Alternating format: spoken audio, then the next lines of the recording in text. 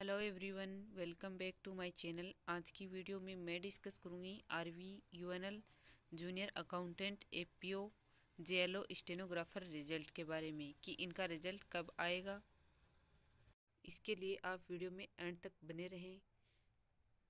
आइए video start करते हैं। इसके रिज़ल्ट के बारे में जानने के लिए आप ताज़ा भर्ती डॉट कॉम पर विज़िट करें।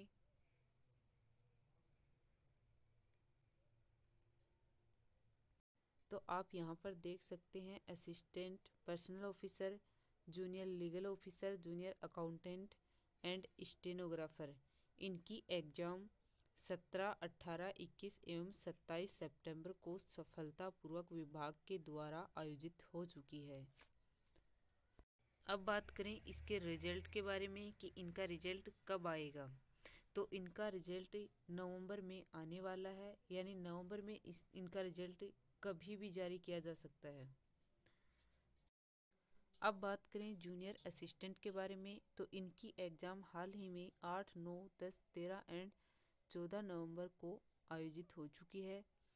अब इनका रिज़ल्ट है वो कब जारी किया जाएगा, इसके बारे में अभी कोई सूचना नहीं है, लेकिन जैसे ही कोई न्यू अपडेट इसके रिज़ल्ट के बारे में आती है तो वो मैं आपको वीडियो के माध्यम से सूचित करती रहूँगी।